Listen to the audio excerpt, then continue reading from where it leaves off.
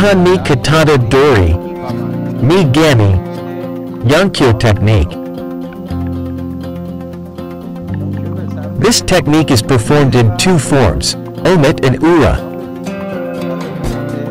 In order to perform the technique in the omote state, first, we use irimi forward movement to get out of the attack line. Then, with the movement of our hind leg, we put the opponent in an unbalanced state. At the same time, we grab the opponent's wrist and put the hand in a joint lock position with a turn, so that the forearm muscle is in maximum tension.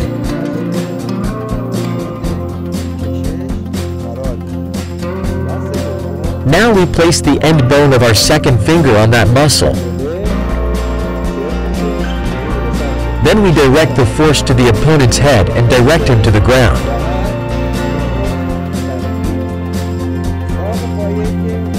Now we place our front leg behind the opponent and after bending the opponent's wrist,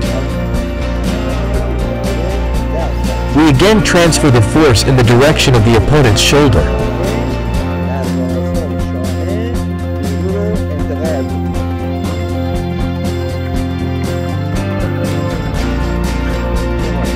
We review again.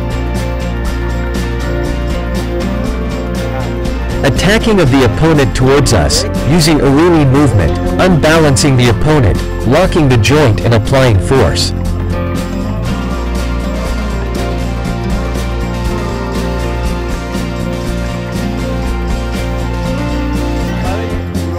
In order to perform the technique in the Ura state, we use Kaiten movement to get out of the attack line. Then we make the opponent unbalanced and place the opponent's hand in a joint lock position.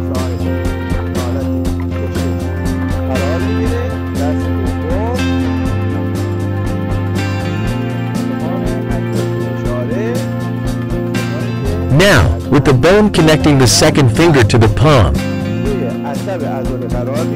we apply force to the nerve located on the forearm muscle and towards the opponent's face using a rotation. Now we execute the joint lock again.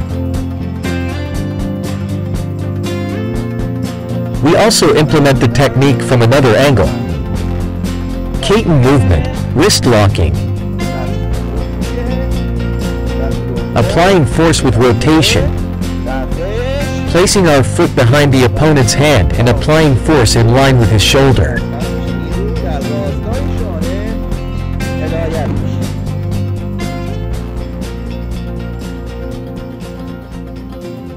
دقت داشته باشید اه، باید حتما دست حریف be careful that the rotation of the opponent's wrist must be done in such a way that the forearm muscle is fully stretched and contracted.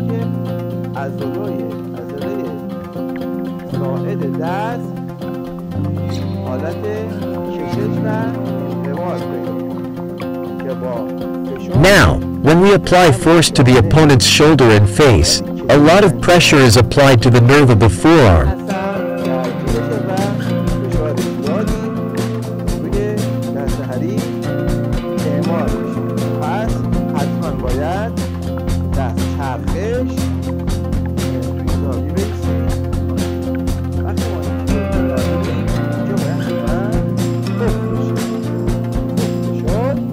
Then we force him to surrender by turning and applying force towards the opponent's shoulder.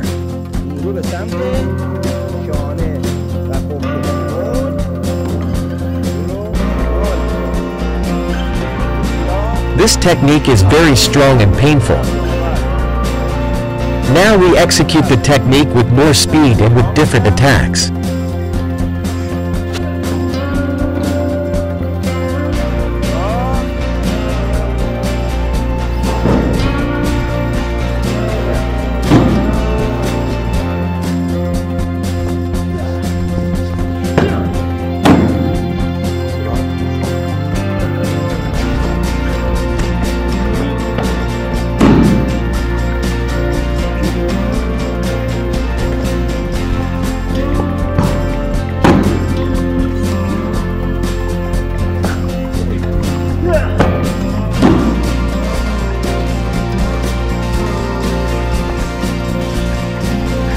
Yeah.